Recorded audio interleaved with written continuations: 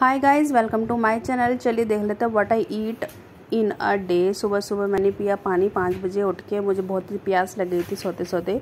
गर्मी भी इतनी तेज़ हो रही है, क्या करें?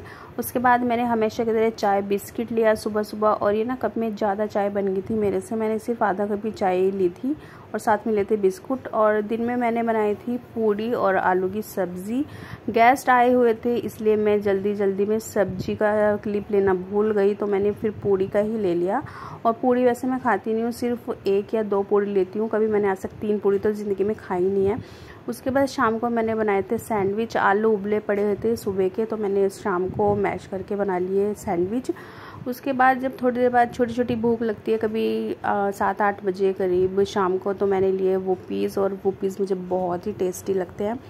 उसके बाद रात को कुछ मीठा खाने का दिल हुआ तो मैंने खाई डेयरी मिल्क चॉकलेट। और हमेशा जब भी मुझे कुछ मीठा खाना होता है तो मैं खाती हूँ चॉकलेट, और इसकी शक्ल थोड़ी अजीब सी लगी थी, पर टेस्ट बिल्कुल अच्छा था।